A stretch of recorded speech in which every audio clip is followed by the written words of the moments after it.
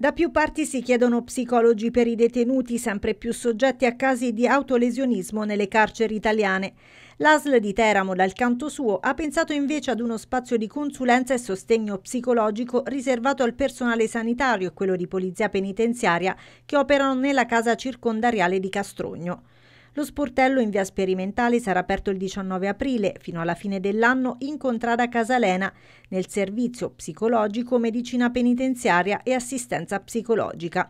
Il giorno di ricevimento settimanale sarà il venerdì dalle ore 9 alle 12 e ci si deve prenotare via mail. L'iniziativa è dell'unità operativa complessa di medicina penitenziaria diretta da Massimo Forlini e dall'assistenza psicologica il cui responsabile è Marcello Marcellini. Negli istituti penitenziari italiani, osserva il direttore generale della ASL Maurizio Di Giosia, si sta vivendo un periodo molto delicato e ciò vale sia per i detenuti che per il personale che in essi presta servizio. In particolare il sovraffollamento della popolazione ristretta e la generale carenza di organico affliggono il sistema carcerario, con non trascurabili ripercussioni psicologiche su chi è deputato al suo funzionamento.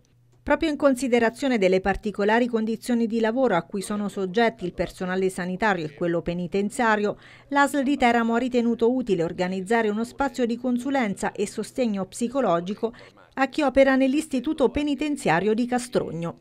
Proprio negli ultimi giorni si era tenuto all'esterno un sit-in di protesta da parte degli agenti della penitenziaria che soffrono da anni la carenza di personale, al quale aveva preso parte anche il deputato abruzzese di Azione Giulio Sottanelli.